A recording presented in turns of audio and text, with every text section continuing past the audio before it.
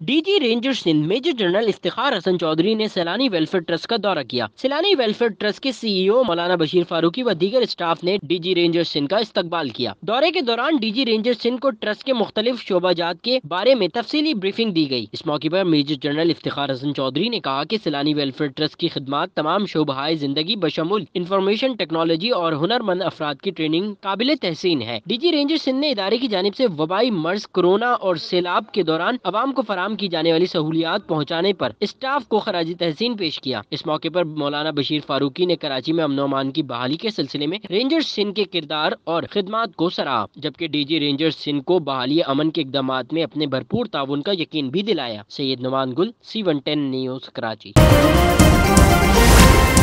C one ten news खबर की असल खबर।